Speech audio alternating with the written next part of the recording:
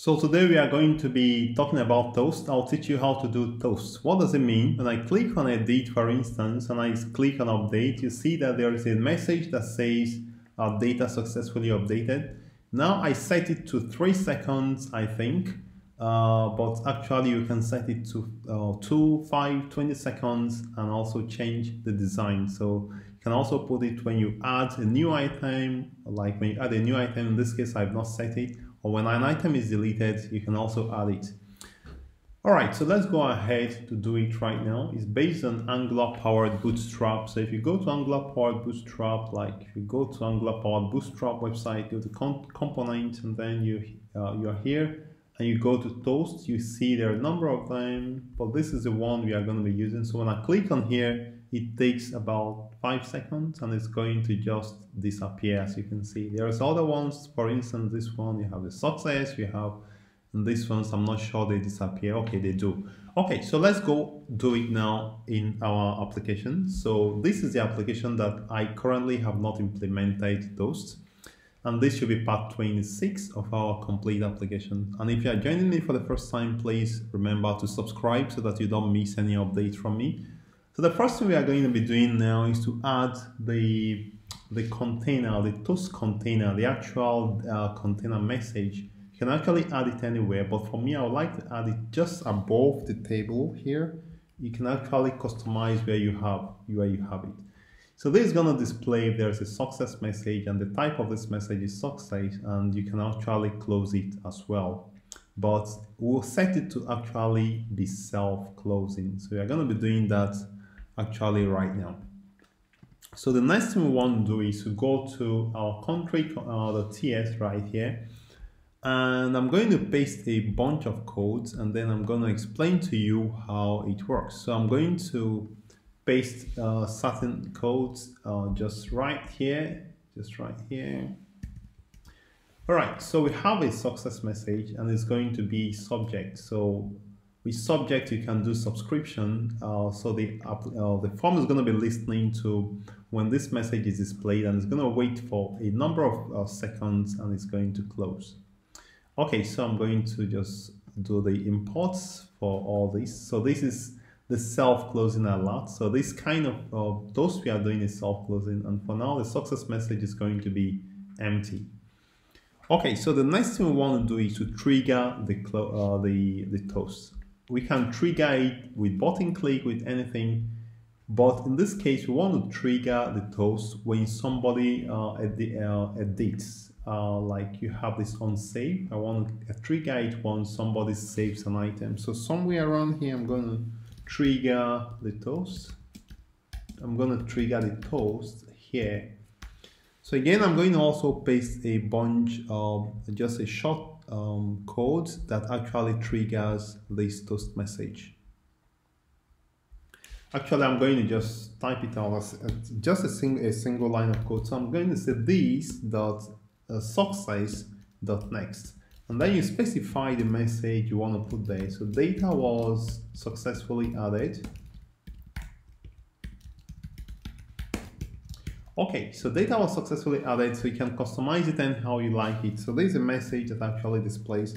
Now we now want to set up the code that actually listens uh, and actually waits for 20 seconds or for 10 seconds for any amount of time you want to wait before you actually uh, close it. So this is interesting part. I'm actually going to paste it. We are going to have this code. I will have it in the is going to start listening when the form is initialized. So somewhere on the init, on init method, I'm going to paste this code. So what's happened here, have debounceTime, permit me to just update my RxJS. So we have the, uh, the success message here is set, uh, but it's only going to be subscribed to when somebody submits an um, update an item. And then we are going to be listening for um, subscribe after uh, um, three seconds, we are going to actually trigger the self-closing alert and force it to close after some seconds.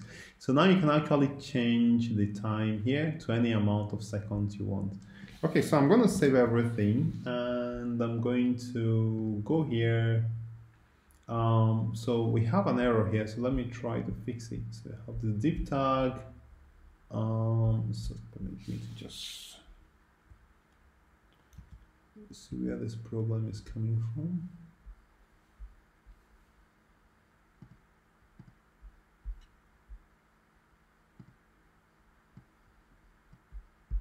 Okay, I think I know where the problem is coming from. So, um, so actually, uh, give me one second.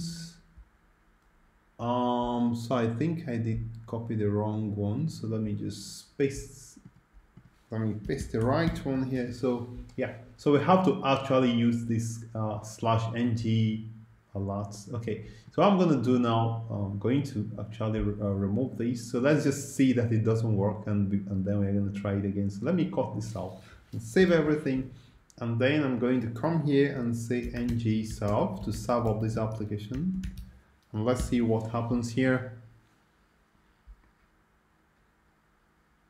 I say pot is, pot is already taken. I think I have something running here. So let me just stop it, stop. And I'm gonna just close this terminal. So let's just come back here. Take out this. And just just run it one more time and let's see.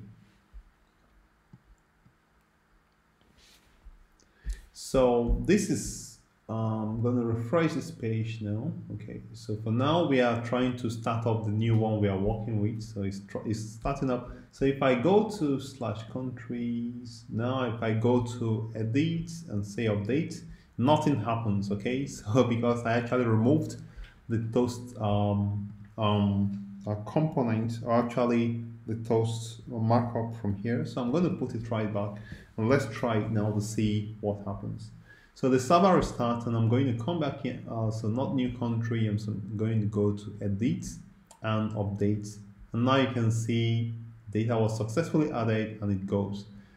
Now, if you want to, data was successfully added, right? So actually we did an update. So if you want to use uh, data was successfully deleted as well, so we can actually do the same thing.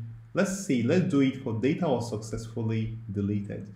So I'm going to go to on delete and I'm going to just go to copy this uh, this one here and just so that we can do it with on delete. So I'm going to come here copy and use this right here on delete on delete right? On delete let me just make sure everything is fine. Open ID open details open add.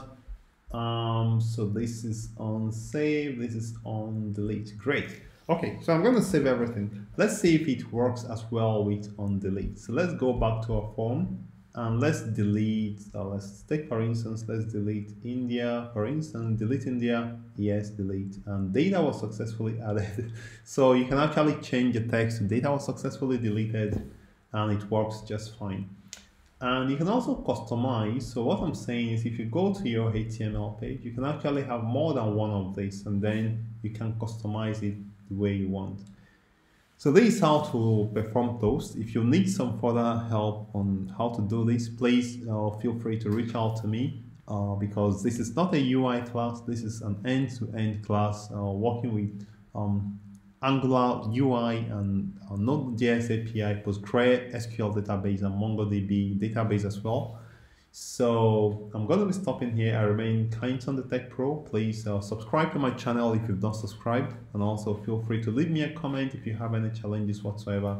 Like and share this video and also connect with me on my social network profile. Again, this complete application is available for you uh, right there on GitHub. You can find this application and you can just uh, download it to your local repository and you are good to go. So let's see in part 27 when we are, we are going to be talking in part 27 about how to complete sorting and filtering so that when one clicks on these headers here, he can actually sort it. And also, let me just remind you that we actually did filtering. So if I go to, uh, we actually did this uh, sorting, uh, sorry, this is sorting pagination actually. So you can see we have pagination working perfectly well. All right, so we see in the nice parts.